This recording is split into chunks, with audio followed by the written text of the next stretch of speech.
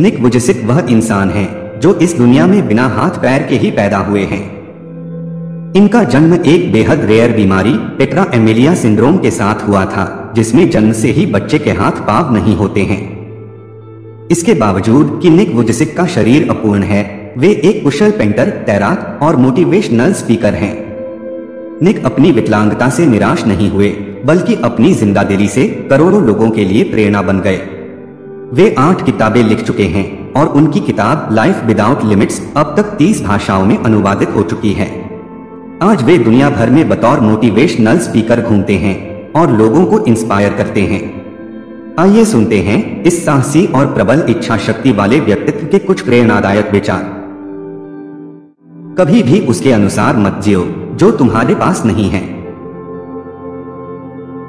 न हम कष्टों की तुलना कर सकते हैं और ना ही हमें ये करना चाहिए। मेरा यकीन करिए, उम्मीद खोना हाथ पाव खोने से कहीं अधिक बुरा है। आपका रवैया ही आपकी प्रतिष्ठा है। बदलाव के लिए इच्छा करने से कुछ नहीं बदलेगा। तुरंत एक्शन लेने का निर्णय लेने से सब कुछ बदल जाएगा। डर सबसे बड़ी विकलांगता है। अगर आप चाहते हो कि आपका जीवन खुशी को स्वीकार करे तो दूसरों के मन में विश्वास पैदा करो और उनसे अच्छे संबंध बना। मैं आपको इस बात को स्वीकार करने के लिए प्रोत्साहित करता हूँ कि हो सकता है अभी आपको कोई रास्ता दिखाई ना पड़े। लेकिन इसका ये मतलब नहीं है कि कोई रास्ता है ही नहीं। चीज़ों का समायोजन इसलिए ज़रूरी होता है, क्योंकि जीवन हमेशा एक समान नहीं होता।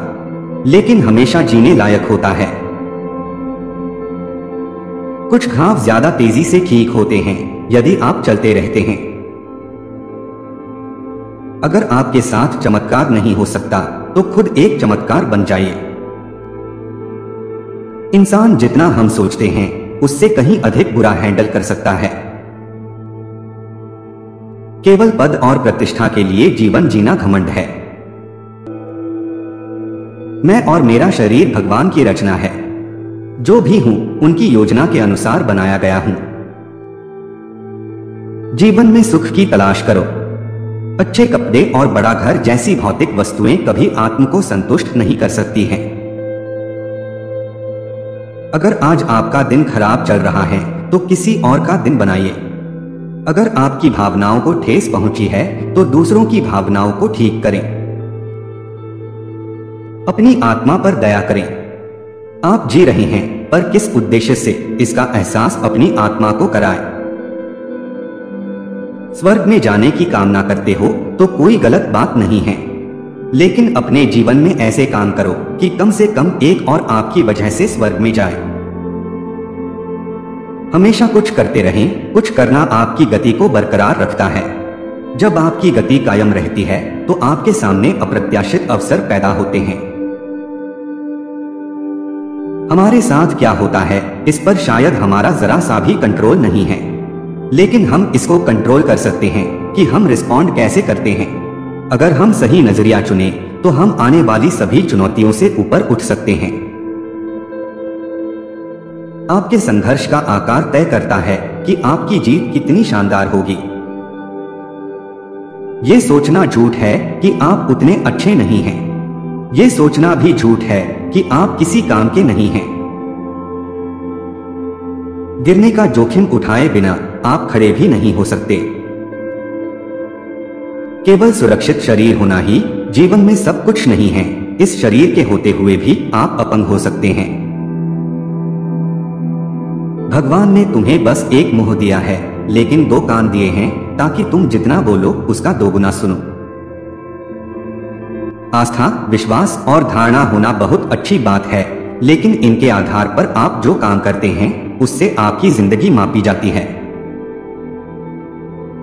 सबसे बड़ा इनाम तब मिलता है, जब आप खुद को छोड़ देते हैं। ये दूसरों की लाइफ को बेहतर बनाने के बारे में है, किसी ऐसे चीज़ का हिस्सा बनने के बारे में है, जो आपसे बड़ा हो और एक सकारात्मक बदलाव लाने के बारे में है।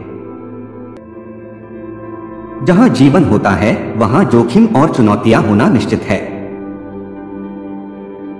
अगर बिना हाथ पाव का आदमी बड़े सपने देख रहा है तो हम क्यों नहीं? हम सभी क्यों नहीं?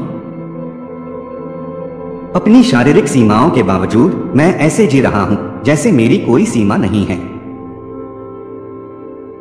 आपको संतुष्टि तब मिलेगी, जब आपकी प्रतिभा और जुनून पूरी तरह से, पूरी ताकत से लगे होंगे। जब आप अपनी सोच से ही डर जाते हैं तो आपके लक्ष्य और योजनाएँ असुरक्षित स्थिति में आ जाती हैं। जिस काम को आप कर रहे हैं, आपको कठिन लग सकता है।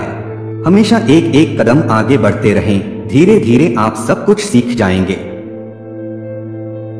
सबसे बड़ा खतरा ये सोचना है कि आपको भगवान की ज़रूरत नहीं है। जब आप महज चीज़ों में खुशियाँ ढूंढते हैं तो वो कभी भी काफ़ी नहीं होता। आसपास देखिए, अपने अंदर झांकिए। आपका जन्म इस धरती पर किसी उद्देश्य से हुआ है। आप ईश्वर की किसी योजना के महत्वपूर्ण भाग हैं। इसलिए अपने किरदार को बखूबी निभाओ। कभी कभी हम यह नहीं जान पाते हैं कि इस परिस्थिति के लिए मैं ही क्यों चुना गया हूँ। भरोसा रखिए, यह परमेश्वर की योजना है। मेरे पास ऐसा कुछ भी नहीं है, जिससे मैं भगवान पर क्रोधित हो। उसने मुझे जो भी बनाया है, मैं इसको स्वीकार करता हूँ और आभार व्यक्त करता हूँ। हार मत मानो और इस बात को याद रखो कि हमेशा कोई न कोई होता है जो आप में यकीन करता है और जो आपको उसी रूप में प्यार करता है, जैसे आप हैं। बहुत से लोग सोचते हैं कि मैं सामान्य जीवन नहीं जी सकता, क्योंकि मेरे पास हाथ पैर नहीं है। मैं चाहता तो लोगों के भरोसे जीवन जी सकता था। मैं अपनी देखभाल के लिए किसी का इंतज़ार कर सकता था। लेकिन मैंने यह तय किया कि दूसरों की प्रतीक्षा करने की बजाय सारे काम मैं खुद ही करूँगा। हमारे जीवन में चुनौतियाँ हमारे विश्वास को मज़बूत करने के लिए हैं। वे हमें रौंदने के लिए नहीं हैं।